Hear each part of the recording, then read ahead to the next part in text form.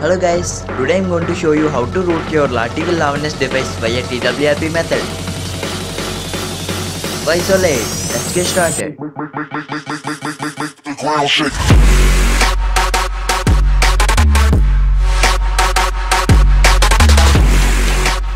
First of all, download the latest zip file from the link in the description and paste it in your internal storage. And then make sure you have enabled TWRP in your device and tap on reboot to recovery. Oops. Reboot to recovery.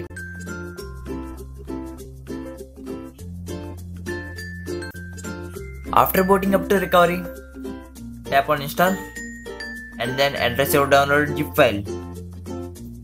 Here is my SuperSU 2.78. Let me show you.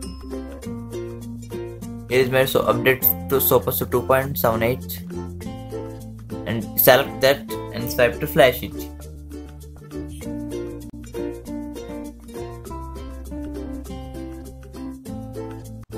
Now wipe the caches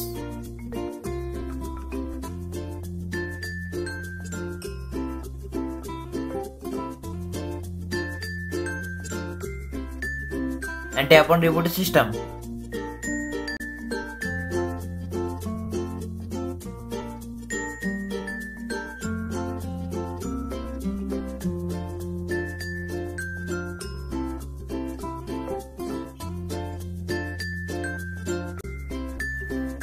It's booted up right now.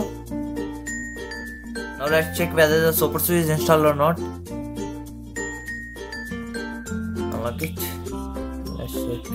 And here it is, my SuperSU. Let's open it up. And now you can see the SuperSU is configured. You can manage all your SuperSU binaries from here. And that's it guys, this is your tutorial. This video helps you, please do like and subscribe to my channel. Thank you.